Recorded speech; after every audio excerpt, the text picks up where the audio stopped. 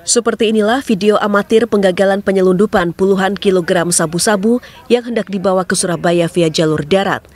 Barang-barang haram asal Kalimantan dan Sumatera itu sengaja diselundupkan via jalur darat untuk mengelabuhi petugas kepolisian. Beruntung para kurir sabu jaringan Kalimantan, Sumatera dan Surabaya itu akhirnya ditangkap petugas Satres Narkoba Polrestabes Surabaya.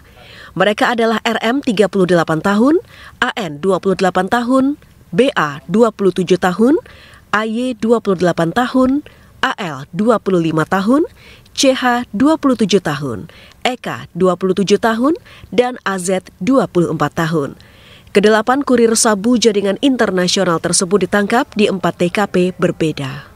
Kapolres Tabes Surabaya Kombes Polisi Ahmad Yusef Gunawan mengatakan, dari penangkapan delapan tersangka tersebut, petugas menyita 90,7 kg sabu dan 13,6 kg ganja. Para tersangka diketahui memiliki jaringan dengan bandar di Kalimantan, Sumatera, dan Surabaya. Puluhan kilogram barang haram senilai 90 miliar rupiah itu juga diketahui didapat dari bandar di negara Cina.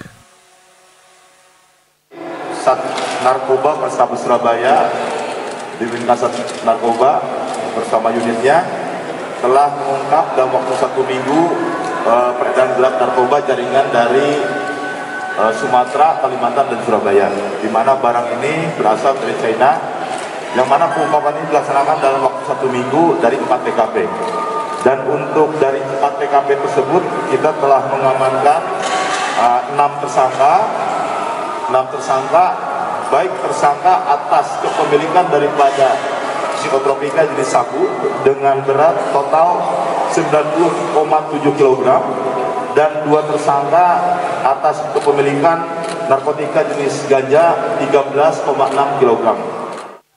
Untuk mempertanggungjawabkan perbuatannya, kedelapan tersangka bakal dijerat pasal 114 ayat 2 subsidiar pasal 112 ayat 2 Undang-Undang tentang Narkotika dengan ancaman maksimal hukuman mati.